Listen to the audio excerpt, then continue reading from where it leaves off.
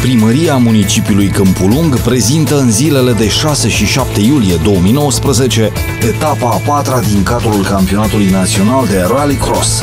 În organizarea clubului sportiv Brothers Motorsport, Cupa Câmpulung Mușel 2019 se dispută pe traseul special amenajat pe platoul Grui la intrarea în comuna Bughea de Jos. Arena Gladiatorilor vă așteaptă pentru spectacol și emoție la turație maximă.